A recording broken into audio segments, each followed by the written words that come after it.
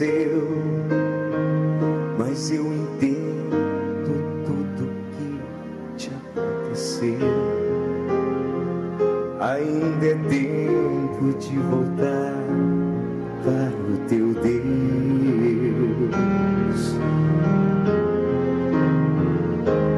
Não tenhas medo, pois eu estou aqui. É o teu Senhor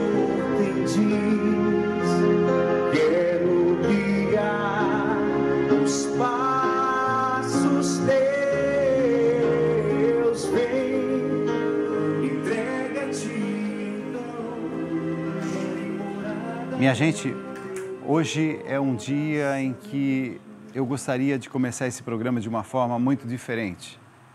Mas os fatos estão falando e estão falando num tom muito alto. E eu não posso ficar indiferente diante de tudo que está acontecendo. Diz a palavra de Deus que uma briga, quando começa, é como uma rachadura num reservatório gigantesco de água.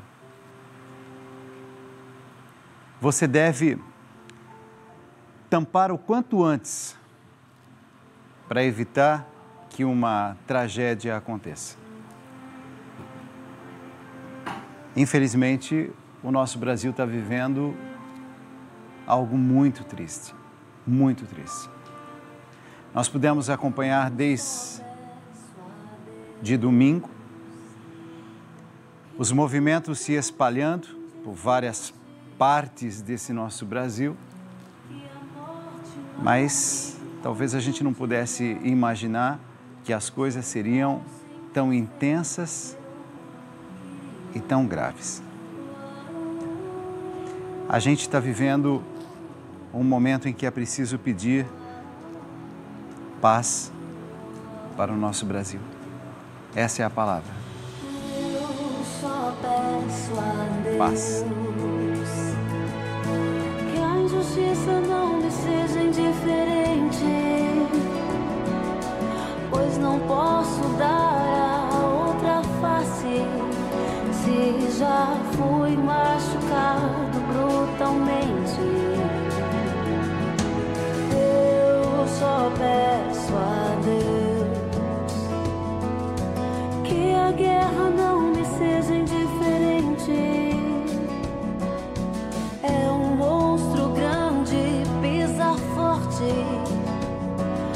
Toda a pobre inocência dessa gente.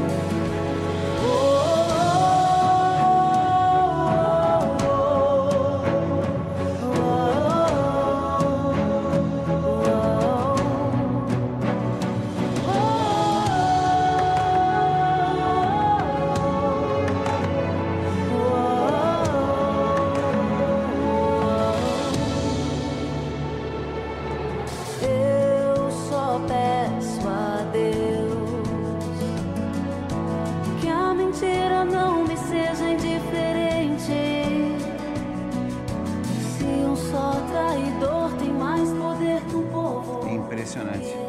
Impressionante. Eu nunca imaginei que eu veria isso acontecendo no nosso Brasil. Nunca. Invadir os três poderes. Nunca imaginei. Eu acho que é o momento de pedirmos paz, né? Já passou do momento, né? De pedirmos paz. Deus provê, Deus proverá. A sua misericórdia não faltará. Deus provê, Deus proverá. A sua misericórdia não faltará. Deus provê, Deus proverá. A sua misericórdia não faltará. Deus provê, Deus proverá. A sua misericórdia não faltará. Pela nossa gente, pelo nosso Brasil, Deus provê, Deus proverá. A sua misericórdia não faltará. Deus provê, Deus proverá. A sua misericórdia não faltará. Que nunca mais a gente tenha que assistir essas cenas que nós vimos agora. Deus provê, Deus proverá. A sua misericórdia não faltará. Deus provê, Deus proverá. A sua misericórdia não faltará. Deus provê, Deus proverá. A sua misericórdia não faltará. Senhor, fazei-me instrumento de vossa, de vossa paz. Onde houver ódio, que eu leve o amor. Onde houver ofensa, que eu leve o perdão. Onde houver dúvida, que eu leve a fé.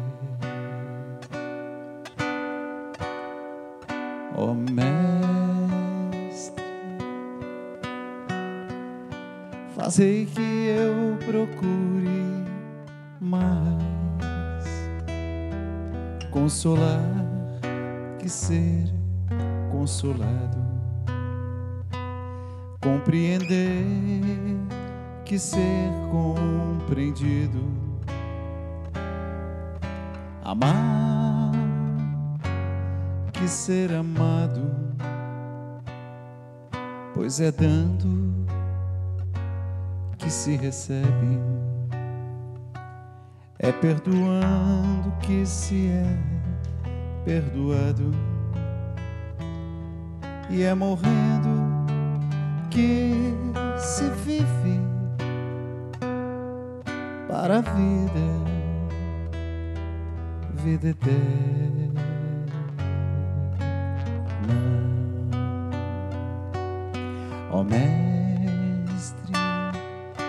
Fazer que eu procure mais.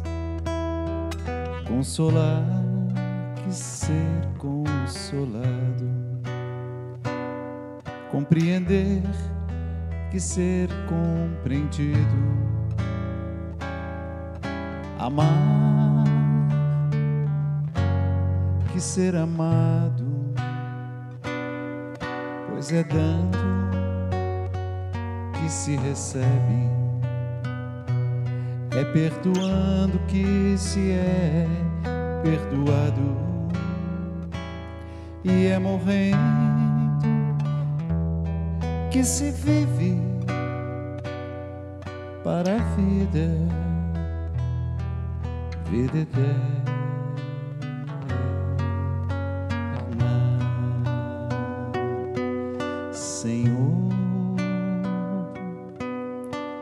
Fazei-me instrumento de vossa paz.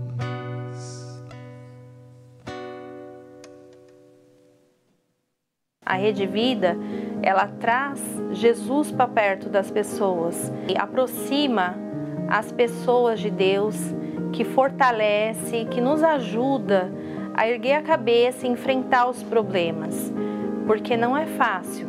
Mas quando você tem um, uma televisão, né, como a Rede Vida, que traz novenas, que traz, é, é, que traz as missas, que, que traz tudo para que a gente precise para nos fortalecer a fé, é, é realmente um, uma, uma graça muito grande. Se você pode, me ajude a levar adiante essa missão. 0 Operadora 11 4200 8080. Nessa madrugada, a gente está no meio desse tumulto todo, dessa angústia toda, desse sofrimento todo que nós brasileiros estamos vivendo, pedindo paz para o nosso Brasil, para continuarmos esse grande movimento, como irmãos mesmo, nos apoiando nos momentos de alegria, nos momentos de tristeza, nos momentos de dor, nos momentos de sofrimento, de conquista, de vitória e também nos momentos de horror, né? Como a gente está vivendo. Eu quero dizer para você, nós estamos juntos. Você pode contar comigo. Eu só peço que, se você tem condições, me ajude a manter esse programa nas madrugadas. 0 Operadora 11 4200 8080. Como é que você pode manter esse programa nas madrugadas? Primeira forma, você pode estender a sua mão, pegar o telefone, ligar e falar assim: olha, eu gostaria muito de é, ser um novo benfeitor, novo benfeitor dessa obra. Daqui a pouco vou trazer a lista com os nomes dos novos benfeitores. Segunda coisa, você pode dizer assim: eu quero esse livro aí do Dalcides. Esse livro do Dalcides significa, ó, você adquirir a Bíblia como você nunca leu. Eu estou doando os direitos desse livro para o nosso projeto Juntos. A Neuza Aparecida, Neuza, eu sei que você entrou em contato, que você disse que gostaria de ajudar. Muito obrigado, viu? Eu tenho aqui também a Elisângela Gelati. Elisângela, que Deus te abençoe. Muito obrigado, viu, Elisângela? Que Deus te abençoe e te proteja muito. Aqui tem, olha, é o símbolo do coração de Jesus, né? Elenir, eu vi, viu, filha? Muito obrigado, tá? Graças a você, nós estamos conseguindo evangelizar em mais uma madrugada. Jandir, que Deus abençoe você e sua família. Muito obrigado também para Aline. Aline, estou vendo, viu, que você veio, está nos ajudando. Edilene Bezerra, obrigado, viu, Edilene? Obrigado. Adquiriu o livro A Bíblia Como Você Nunca Leu. Você pode adquirir também agora pelo redvida.com.br barra Dalcides. Norma Sueli. Norma, obrigado, viu filha? Muito obrigado. A Rosa Ferreira Santos, que Deus abençoe você, Rosa. Deus proteja todos vocês. Muito obrigado. Essa é uma das formas concretas de você nos ajudar a manter esse projeto, estendendo as mãos e dizendo: Olha, pode contar comigo. Olha, eu estou aqui, eu quero ajudar nesse projeto. Aqui estão os nomes e eu vou colocando aqui nessa caixinha, porque todos esses nomes estão sendo oferecidos à Sagrada Família, tá? 0 Operadora 11 4200 8080. Se você pegar o telefone e entrar em contato agora, você se torna novo benfeitor. Daqui a pouco vou trazer os nomes dos novos benfeitores. Daqui a pouquinho. Agora eu tenho aqui o meu boleto, né? Então, se você recebeu e puder, faça a sua doação. Faça a sua doação. Esse mês de janeiro nós estamos realmente precisando. Eu fiz a minha doação, está aqui, ó. A prova que eu fiz a doação está aqui, ó. Da Alcides Carmo Biscalquim. Eu doei para o Instituto Brasileiro de Comunicação Cristã. Então, minha gente, pegar o telefone e ligar agora, se tornar benfeitor, pegar o seu boleto e ajudar. Nós temos aqui uma imagem e temos aqui também uma camiseta. Eu quero agradecer ao Gilberto que me deu essa camiseta. Eu vou dar de presente agora essa camiseta. Os que nos ajudaram nessas últimas 24 horas. Vamos ver quem são aqueles que estão com os nomes aqui. São aqueles que estão nos ajudando nessas últimas 24 horas. Ana Alice Moreira Vicente. Ana, você foi escolhida para receber na sua casa nos próximos dias. Olha aí, a camiseta e também uma imagem. Muito obrigado, viu, gente? Muito obrigado. Ó, vamos fazer o seguinte: se você sente no coração o desejo de participar do sorteio amanhã, no programa de amanhã, basta você entrar em contato com a gente agora ou você pegar o seu boleto e fazer a sua doação. Se você entrar agora em contato, e se você fizer a sua doação, você já vai estar com o nome aqui e amanhã você poderá, quem sabe, ser o sorteado. 0 Operadora 11 4200 8080. Eu preciso da sua ajuda. A luta é gigantesca e se você não estender as mãos, eu não consigo levar adiante esse programa. Obrigado pela sua ajuda. Vai lá. Nos tormentos das paixões desencantadas, pode chamar por mim. No silêncio, nos conflitos mais profundos do teu coração. E até mesmo nos abismos mais sombrios, na escuridão. Na escuridão.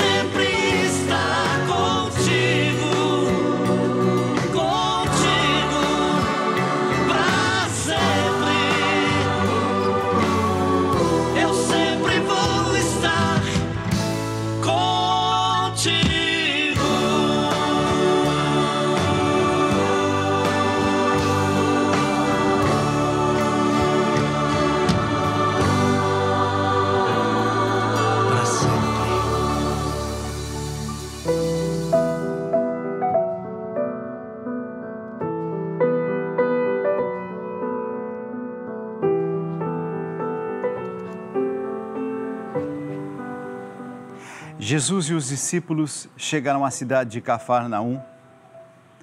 Quando já estavam em casa, Jesus perguntou aos doze discípulos: O que é que vocês estavam discutindo no caminho? Mas eles ficaram calados, porque no caminho tinham discutido sobre qual deles era o mais importante.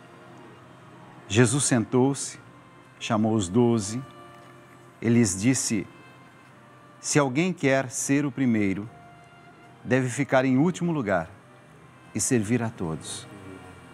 Aí segurou uma criança e a pôs no meio deles. E abraçando-a, disse aos discípulos: Aquele que, por ser meu seguidor, receber uma criança como esta, estará também me recebendo. E quem me receber não receberá somente a mim, mas também aquele que que me enviou. Esse é um pequeno texto do Evangelho de São Marcos, no capítulo 9, versículos 33 e seguintes.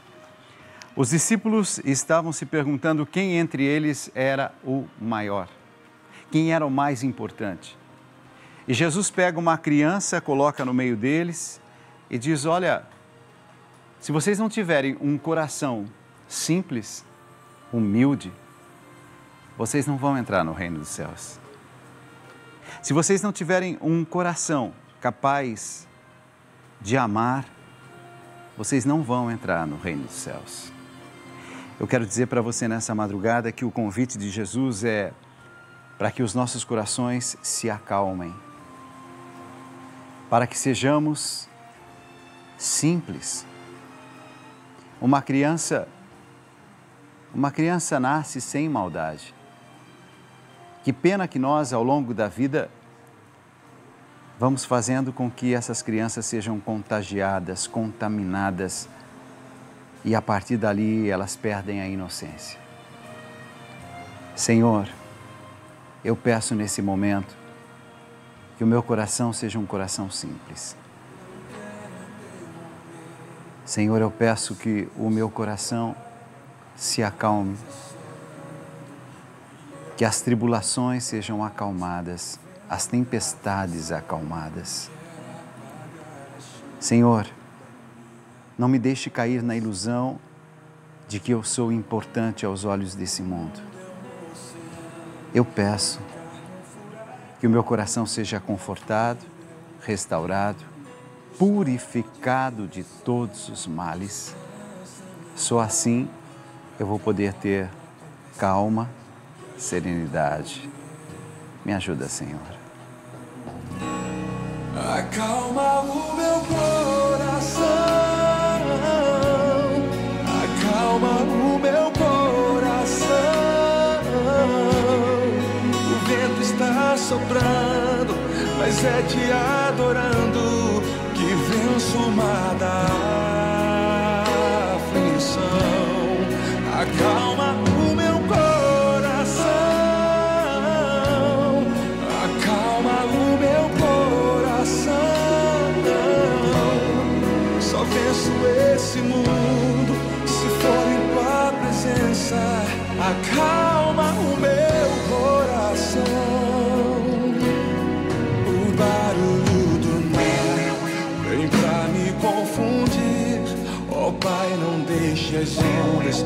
minha fé diminuir. Perdoa se pensei que em meio ao teu silêncio não estivesse aqui.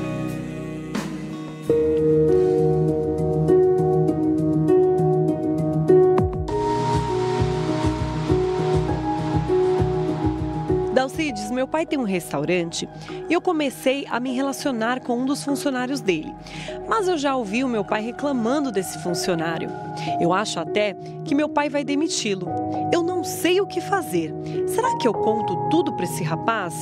Ainda não falei sobre o meu relacionamento para o meu pai. Me ajude.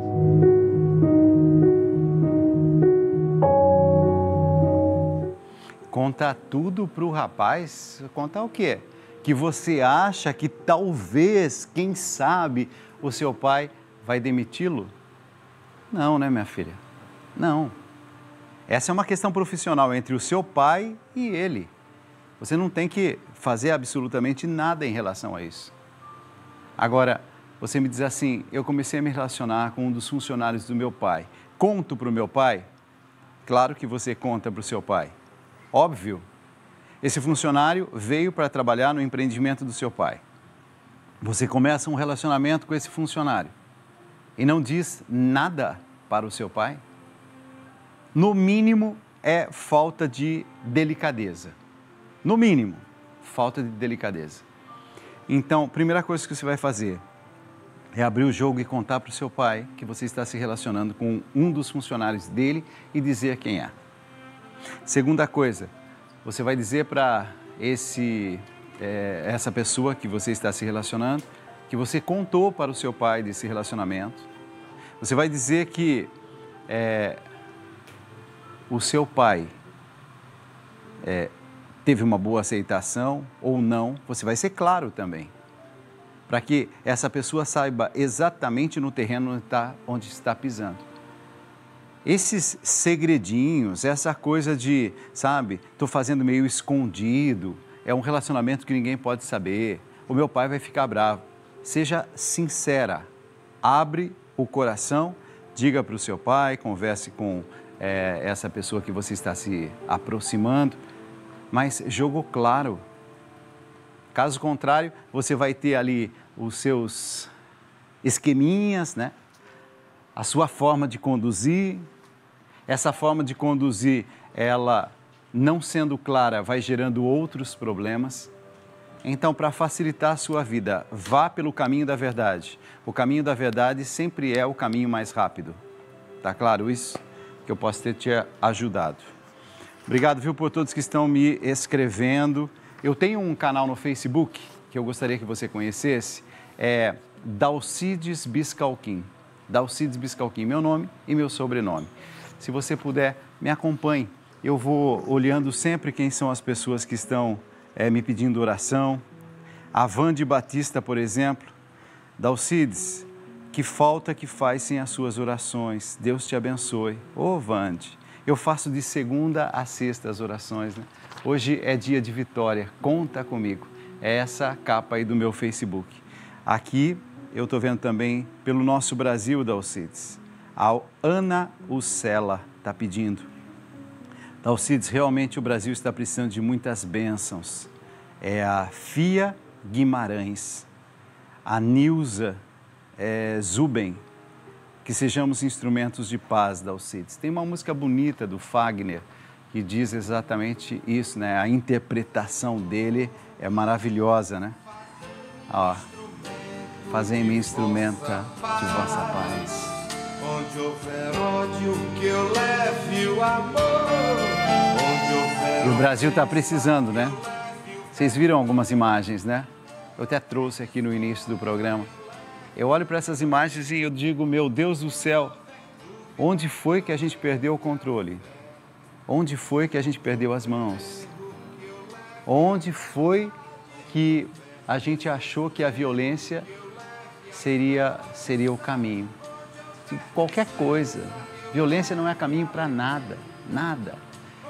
Eu vou olhando essas imagens e eu sinceramente sinto, sinto pena, pena de nós. pena do povo brasileiro, pena, pena. Olha que ponto nós chegamos. Olha que ponto nós chegamos. Senhor, eu peço que sejamos instrumentos de vossa paz. Eu estou olhando aqui, estou vendo que a Aglaice, Aglaice, Dalcides, reza, rezo. Está aqui a Lindalva. Dalcides, eu vou orar pelos meus filhos, que o Espírito Santo os capacite para trabalho. São mães e pais pedindo em oração. Dalcides, disse a Vera Andrade, nada justifica tamanha violência. Muito triste tudo isso. Dalcides, você é um ungido, de Deus.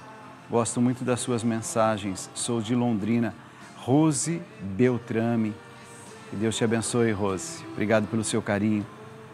Dalcides, Deus é, abençoe a todos nós. Vilma, não, Vilmar, Vilmar. Um excelente semana a todos. Respeito é o que falta de todos os lados, Dalcides. E é verdade. Dalcides, é um exemplo ruim para a nossa juventude é o que está acontecendo nesses dias. Dalva Bert, é verdade. Nós precisamos, é, nós precisamos das bênçãos de Deus. Dalcides, tudo isso é muito triste, é verdade. Isaura, Maria Giroto. Minha gente, eu vou olhando todos aqueles que estão me acompanhando, me seguindo, e eu queria garantir a você que a partir do momento que você passa a me seguir, eu é, já coloco você de forma especial nas minhas orações, porque aí eu sei que você está comigo. Estou olhando aqui, por exemplo, estou vendo que a Josiane, né? Josiane, Josiane, eu vi que você veio me seguir, viu, filho? Eu estou vendo aqui, ó. Eu estou vendo que a Dalva está aqui, a Shirley, a Ilma. Estou é, vendo que a Maria Lúcia está aqui, Jandira Santos. Que Deus abençoe a Rosana, Cláudia Regina, a Jéssica Borges. E aí eu posso abrir aqui, ó, Marleide Monteiro. Marleide, que Deus abençoe você, sua família, viu? De vez em quando eu abro aqui e vou vendo quem são as pessoas, de onde essas pessoas são. A Marleide, por exemplo, é de Matão. Matão. Não é tão longe de São Paulo, não. Ó, de Salto, mora em Salto, também aqui pertinho de é, São Paulo. Inês, Deus abençoe você, viu? Proteja você. Eu vou lendo esses recadinhos, é só para dizer que eu acompanho, gente, tudo aquilo que vão me escrevendo. Cíntia, eu vi que você me escreveu. Antônia Pinheiro, eu vi. Dalcides, boa noite. Adoro o seu programa. Esse ano não vou perder um dia o seu programa. Vamos ver se eu ganho um abraço ao vivo. Cíntia Santos, você vai ganhar esse abraço agora. Estamos no início de um novo ano. Deus abençoe você, proteja você, ampare você e que a paz esteja no seu coração. Amém. A Célia me escreveu também. Ela disse assim: Dalcides, a Antônia primeiro, né? Que Deus abençoe sempre eu assisto todos os dias e você é meu companheiro dia e noite. Peço bênção e é, oração para mim, para minha família, para o meu neto Miguel. Amém. Antônia, estou rezando por você. Célia, seu programa é maravilhoso, gosto muito das orações, das palestras, das músicas, é muito bom. Que Deus te abençoe, Célia. É, Gonçala, ela disse assim: Oi, Dalcides, é, você quer saber se o seu programa nos ajuda em algo? Como ajuda? Eu assisto você todos os dias. Vejo o Conta Comigo das madrugadas. Para mim é uma benção. Me ajuda muito nas orações, as entrevistas, as músicas e suas belas palavras. Incentivo e encorajamento, me sinto forte para enfrentar qualquer dificuldade que me possa aparecer. Obrigado por você existir. Não vamos deixar o Conta Comigo acabar. Sou benfeitora e pretendo continuar sendo por muito tempo. Grande abraço. Obrigado, obrigado. Eu e minha esposa, no tempo em que pegamos Covid, onde estava tudo fechado, hospitais lotados, ficamos em casa e com a graça de Deus, através de você, passamos é, e nos fortalecemos. Até hoje acompanhamos seus programas. Obrigado, Senhor. Obrigado, Dalcides. Amém. Seus programas nos três horários traz luz para a nossa alma, amigo. Eu assisto você há mais de oito anos. São momentos que acalentam a mente, traz paz para as nossas vidas. De agora e sempre, só fidelidade. Vander, obrigado. Muito obrigado. Oh, eu só digo uma coisa, gente. Quando eu sinto no coração, sabe, algumas coisas, eu procuro falar, eu procuro trazer aqui uma mensagem e me vem ao coração de trazer uma mensagem para você que que está chateado. Eu falei agora de pouco no Facebook, né? Eu nesses dias falava sobre a tristeza. Não deixe que a tristeza tome conta de você. Livro do Eclesiástico, capítulo 30. Quer ver um trechinho daquilo que eu trago no meu Facebook? Que você pode encontrar lá muitas orações e também é, muitas reflexões. Vai. A palavra de Deus hoje para você é do livro do Eclesiástico, capítulo 30. Não deixe que a tristeza tome conta de você. Não permita que as suas preocupações o deixem aflito. Um coração contente é a vida da pessoa. A alegria faz aumentar os anos de vida. Divirta-se, anime-se. É um texto bíblico, é de verdade. Não estou inventando essas palavras. Livro do Eclesiástico, capítulo 30. Não deixe que a tristeza tome conta de você. Como é que você faz para a tristeza não tomar conta de você? Você tem que usar alguns instrumentos. Um deles, por exemplo, você sabe que a oração é algo que nos ajuda? Porque a oração sempre nos reveste também de esperança, sabe? Quando a gente não tem esperança, a gente vai achando que ah, não tem jeito, ah, não vai dar certo, ah, minha vida parece que não se resolve. Você já vai entrando num círculo de, de desânimo, de tristeza, de angústia. Quando você se deixa levar pelo amor, pela misericórdia de Deus, o seu coração se anima, você se anima interiormente. Você diz: Olha, hoje estou com dificuldade, hoje está difícil, mas Nada melhor do que assim deixar o tempo passar, amanhã vai estar diferente, amanhã vai vai estar melhor. E se você olhar bem, naquele dia que você assim parecia ter chegado no final da estrada, já não tinha mais caminho, ah, o dia seguinte apareceu com novas oportunidades, alguma porta se abriu, chegou alguém, disse alguma coisa, uma inspiração que veio. Para com essa história de ser vítima da tristeza.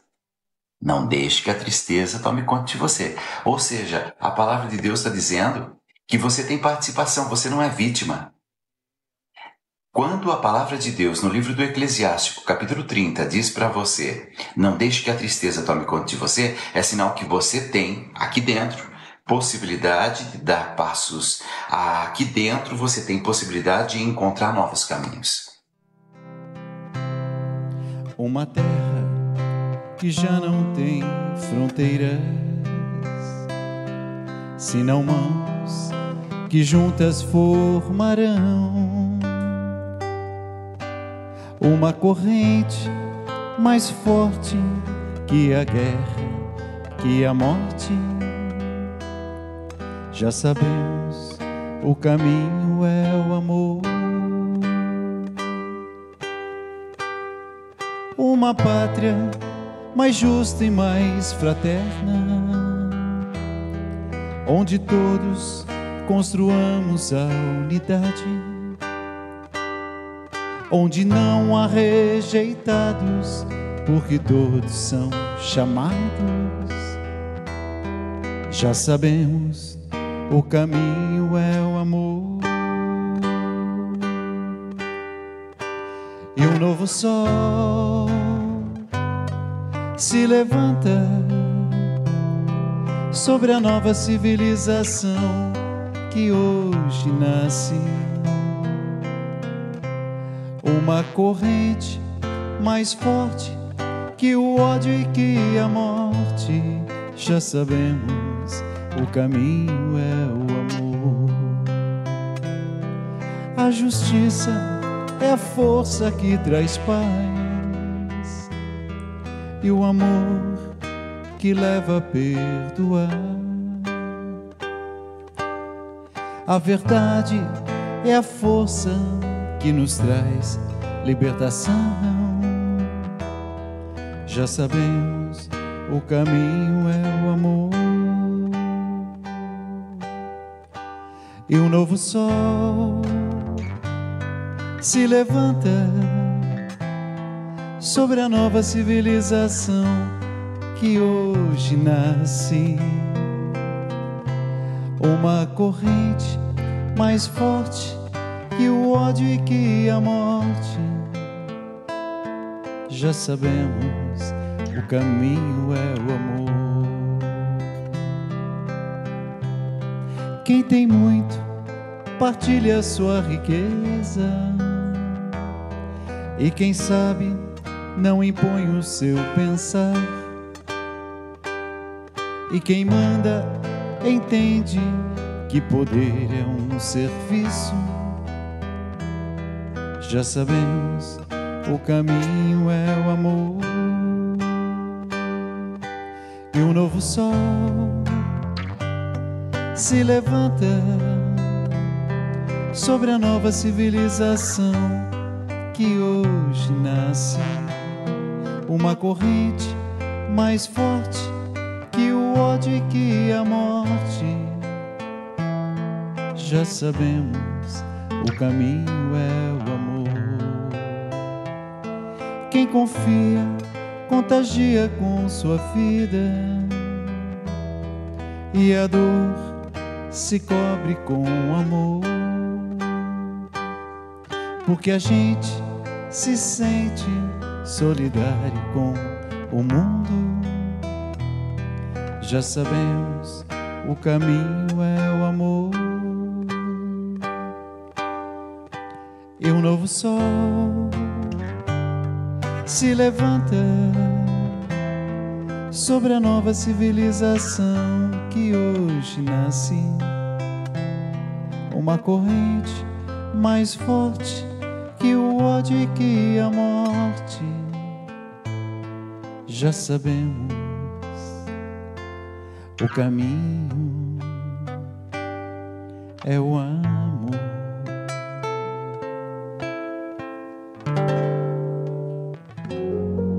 Um homem muito religioso foi injustamente acusado de ter assassinado uma mulher. O verdadeiro assassino era uma pessoa influente na vila e, por isso, prenderam um inocente no lugar. O homem foi levado a julgamento e o resultado foi a condenação à forca. Ele sabia que tudo seria feito para condená-lo e que teria poucas chances de sair vivo dessa história. O juiz, que também era corrupto, simulou um julgamento justo, fazendo uma proposta ao acusado que provasse sua inocência. O juiz disse: Sou de uma profunda religiosidade e por isso vou deixar sua sorte nas mãos do Senhor. Vou escrever em um pedaço de papel a palavra inocente e no outro pedaço a palavra culpado. Você sorteará um dos papéis e aquele que sair será a sua sentença. O Senhor Deus decidirá o seu destino. Sem que o acusado percebesse, o juiz separou os dois papéis, mas em ambos escreveu culpado. Naquele instante, não existia nenhuma chance do acusado se livrar da forca. O juiz colocou os dois papéis em uma mesa e mandou que o acusado escolhesse um. O homem pensou por alguns segundos, orou em silêncio, aproximou-se confiante da mesa, pegou um dos papéis e imediatamente colocou-o na boca e o engoliu. As pessoas presentes no julgamento ficaram surpresas com a atitude do homem. Mas o que você fez? E agora? Como vamos saber qual é a sua sentença? É muito fácil. Basta olhar o outro pedaço que sobrou e saberemos que acabei engolindo o seu contrário. Imediatamente, o homem foi libertado. Por mais difícil que seja uma situação, não deixe de acreditar e lutar até o último momento. Seja criativo. Quando tudo parecer perdido, ouse.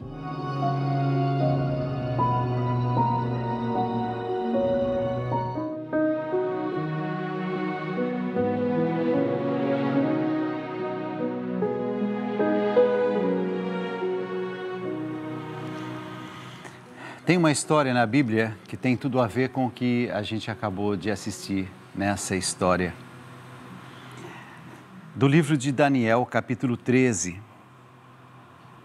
Gente, eu queria que você que está em casa fizesse agora um momento assim de, de formação, sabe?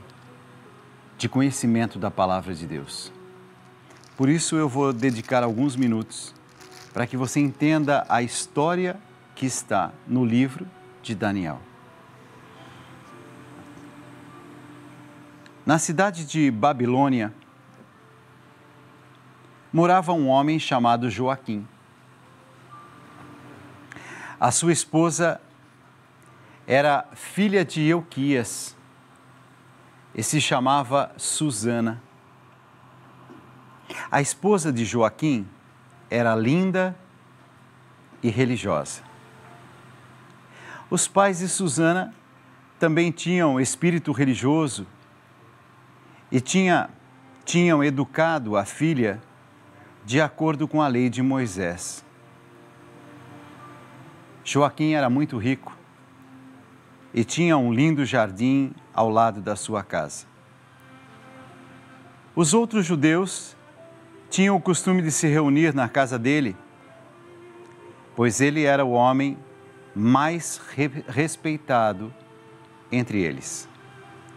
Até agora você entendeu que na Babilônia havia um homem chamado Joaquim e uma mulher chamada Susana.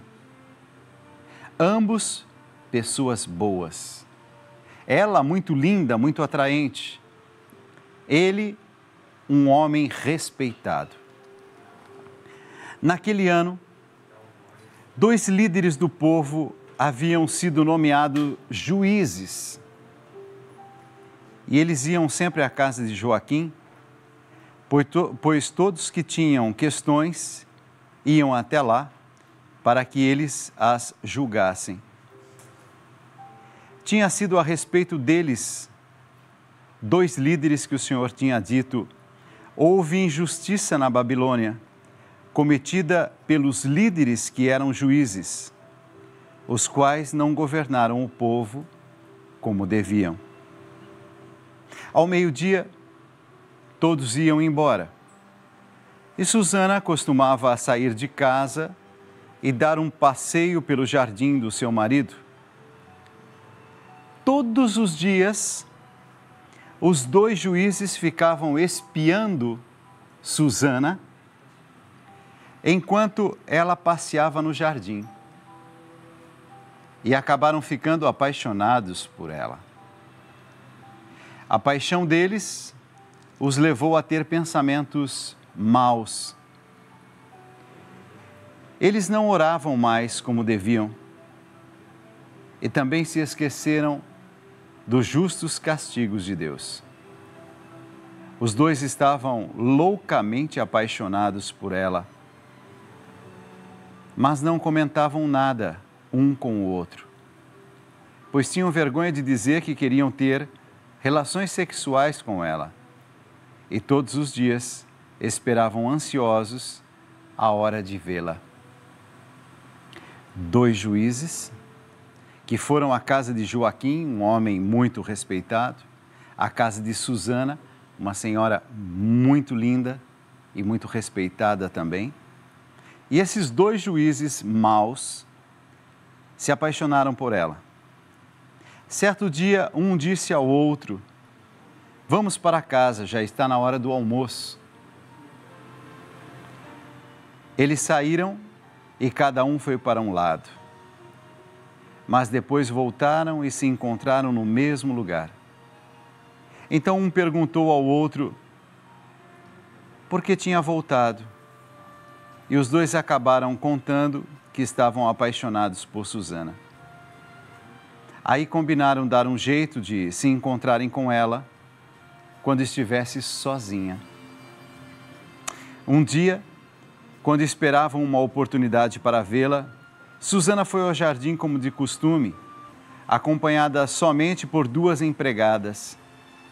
Estava fazendo muito calor e ela resolveu tomar um banho ali no jardim. Não havia mais ninguém lá, a não ser os dois juízes que estavam escondidos espiando Susana.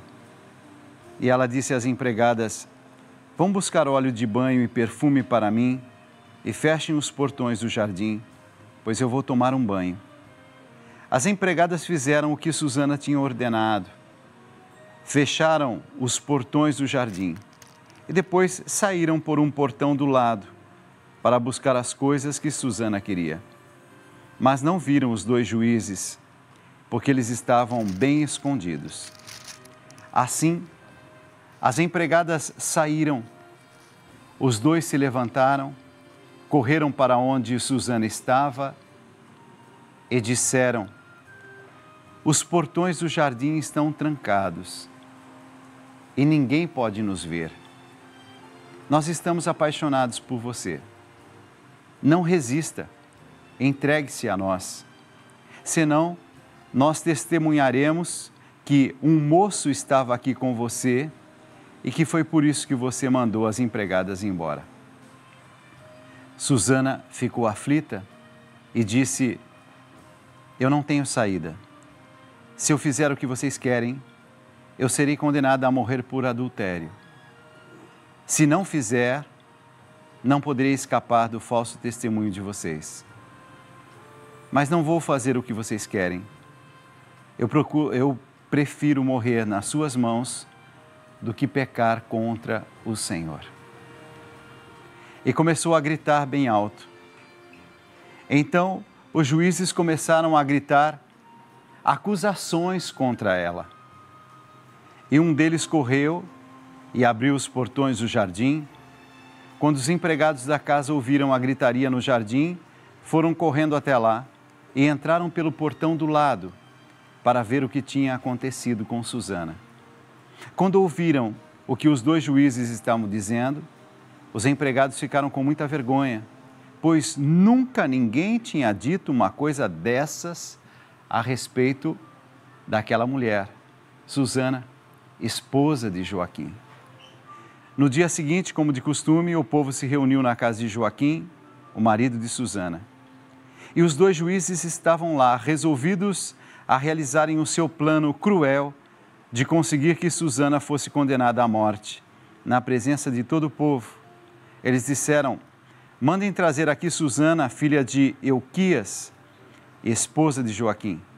Foram buscá-la, ela veio junto com os seus pais, os filhos e todos os parentes. Susana era bonita, muito delicada, e ela estava com o rosto coberto por um véu. Os dois safados mandaram que ela tirasse o véu para poderem ter o prazer de ficar admirando a beleza dela. A família e os amigos de Susana choravam, e todos os que estavam vendo também choravam e não podiam acreditar naquilo que estavam vendo. Os dois juízes ficaram de pé no meio do povo, puseram as mãos na cabeça de Susana. Chorando, Susana olhou para o céu, pois confiava no Senhor. E os juízes disseram: Estávamos só nós dois passeando no jardim, quando vimos esta mulher com duas empregadas. Ela trancou os portões do jardim e mandou que as empregadas fossem embora. Aí, um moço que estava escondido foi encontrar-se com ela e os dois se deitaram juntos. Olha, gente, olha a maldade desses dois homens, criando uma calúnia em relação àquela mulher. Nós estávamos num canto do jardim e logo que vimos aquela imoralidade, corremos para onde os dois estavam e os pegamos no ato de adultério. O moço era mais forte que nós e por isso não pudemos segurá-lo. Ele abriu o portão e fugiu. Nós seguramos esta mulher e perguntamos quem era aquele moço, porém ela não quis dizer. Nós somos testemunhas de tudo isso.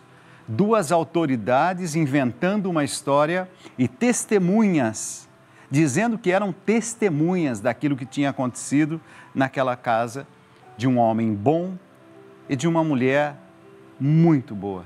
muito boa, de coração bonito.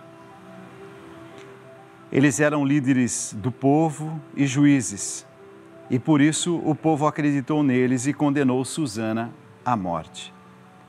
Aí Susana gritou bem alto: Ó oh Deus eterno, tu conheces todos os segredos e sabes todas as coisas antes que elas aconteçam. Tu sabes que esses dois estão mentindo. Eu vou morrer, embora não tenha feito nada do que esses dois mentirosos disseram contra mim. O Senhor atendeu a oração de Susana. Quando ela estava sendo levada para ser morta, apedrejada, Deus despertou o espírito de Daniel, um rapaz bem jovem, muito religioso. E ele gritou bem alto: Eu não vou tomar parte na morte desta mulher. Olha a coragem de um moço, menino, rapaz, que dá um grito bem forte e diz: Eu não vou tomar parte na morte dessa mulher, eu não vou ficar indiferente diante disso que está acontecendo. Todos olharam para ele e perguntaram: O que é que você está querendo dizer com isso? Ele ficou de pé na frente de todos e respondeu: Israelitas, será que vocês são tolos assim? Vocês estão condenando à morte uma mulher israelita sem terem feito um julgamento e sem procurarem saber o que de fato aconteceu. Voltem para o lugar do julgamento, pois o testemunho desses dois homens é um testemunho falso. Todos voltaram depressa para o lugar do julgamento e os líderes do povo disseram a Daniel: Sente-se aqui com a gente e explique o que foi que aconteceu pois estamos vendo que Deus lhe deu a sabedoria de uma pessoa de idade. E Daniel disse: Separem os dois juízes e os coloquem bem longe um do outro. E eu vou fazer perguntas primeiro a um e depois ao outro. Depois que os dois juízes foram separados, Daniel chamou um deles e disse: Seu velho malvado, Agora você vai pagar por todos os seus pecados. Você não julgava com justiça, condenava os inocentes e soltava os culpados, desobedecendo assim a lei do Senhor, que diz: não condene à morte uma pessoa inocente. Agora me diga, se você viu mesmo os dois tendo relações sexuais debaixo de uma árvore, eu pergunto que árvore era essa? E o juiz respondeu: Ah, os dois estavam embaixo de uma aroeira? E Daniel respondeu: Ótimo, você vai pagar essa mentira com a sua vida, pois o anjo de Deus já recebeu uma ordem dele para cortar você pelo meio. Daniel mandou que ele saísse e que viesse o outro. Então Daniel disse: Você diz que é um judeu, você é um cananeu você deixou que a beleza dessa mulher o conquistasse e a paixão encheu seu coração de desejos impuros. Você e o seu colega conseguiram seduzir mulheres israelitas e elas, por medo, se entregaram a vocês. Mas esta mulher da tribo de Judá não concordou em praticar imoralidades com vocês. Agora me diga, debaixo de qual árvore você pegou os dois e ele respondeu: Debaixo de um carvalho. E Daniel respondeu: Ótimo, você também vai pagar essa mentira com a sua vida. O anjo de Deus está esperando para partir, você pelo meio com a sua espada. Assim ele matará vocês dois. Então o povo que ali estava começou a gritar e a louvar a Deus, que salva os que confiam nele. O povo ficou contra os dois juízes, pois por meio das respostas que eles tinham dado, Daniel havia provado que o testemunho deles era falso. O povo deu aos dois o mesmo castigo que eles tinham planejado dar à mulher. De acordo com a lei de Moisés eles mataram os dois juízes. E aquele dia, uma pessoa inocente foi salva. Ilquias e a sua esposa, junto com Joaquim e os parentes de Susana, agradeceram a Deus porque ela não era culpada de ter cometido aquelas coisas que aqueles dois juízes diziam.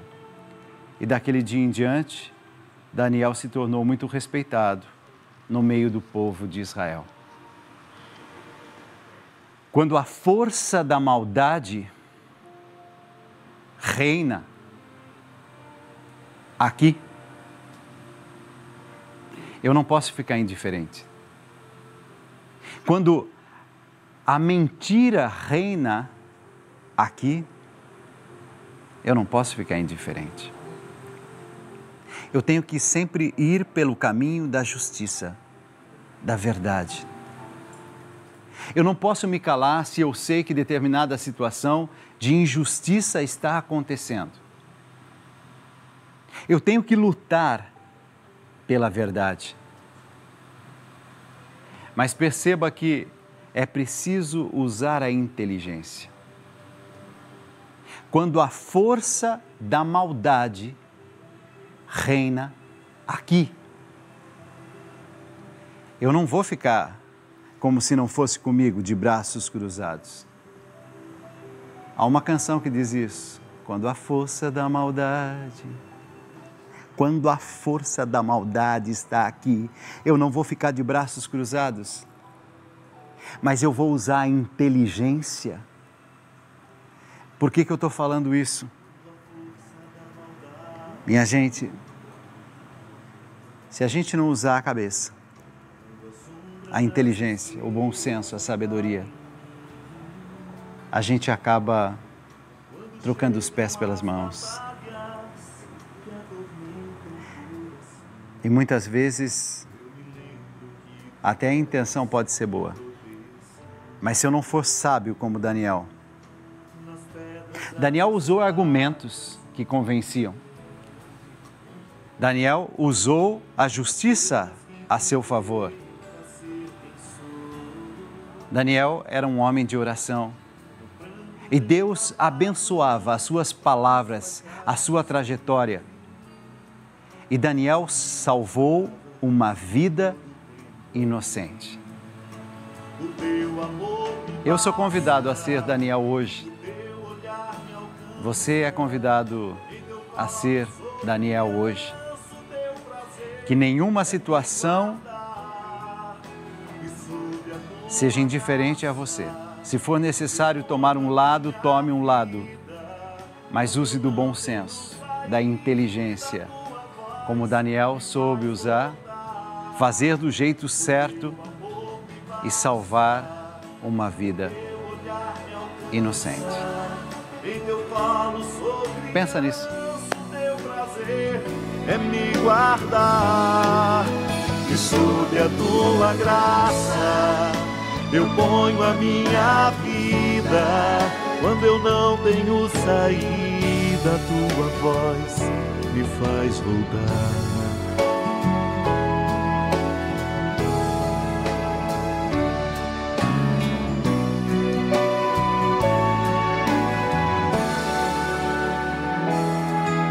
nas pedras das estradas onde andei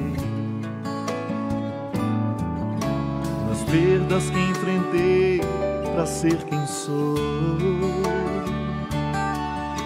No pranto derramado, nos fracassos que eu vivi